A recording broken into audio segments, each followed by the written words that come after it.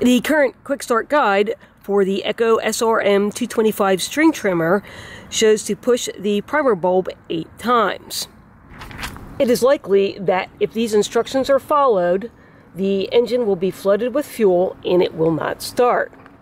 Signs of a flooded engine are the smell of fuel, fuel coming out of the exhaust or the carburetor. I'll follow the cold start instructions and flood the engine. Move this switch to the start position. Move the switch to the cold start position. That means that the choke is on and air to the carburetor is being restricted.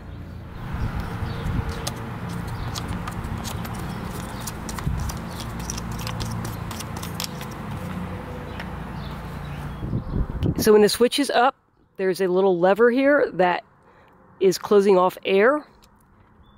When you push it down to the run position, you see it flops up and now allows air into the carburetor.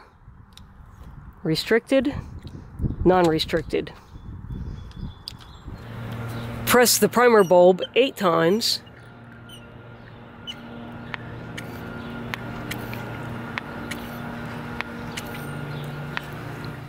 push down on the trigger lockout button and squeeze and hold the throttle fully open.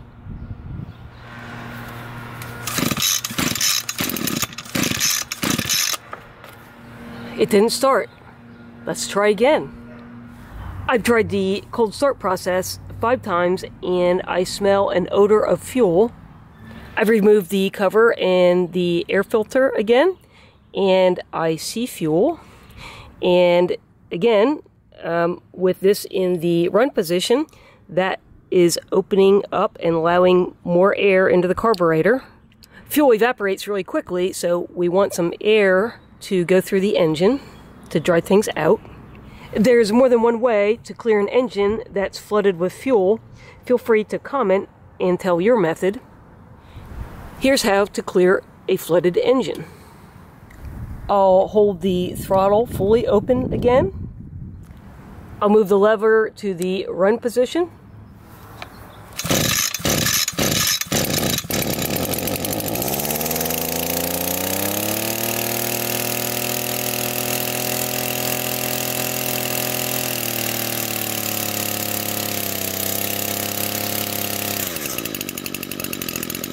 You might try this method to cold start the Echo SRM 225. Start button on. Cold start. Press the fuel bulb four or five times.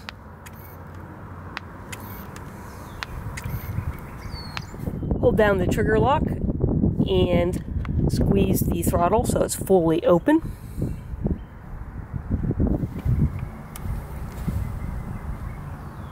Pull the cord until you hear a sputter. Move the lever to the run position.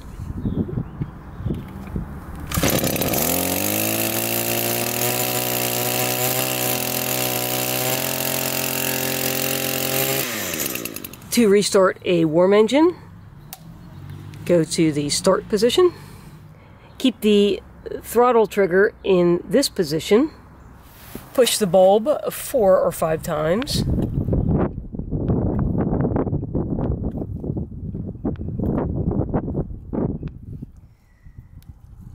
Keep the choke in the run position.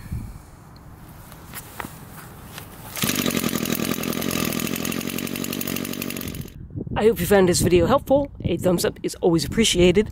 Click on the channel name Know How Now to find other videos, and thanks for watching.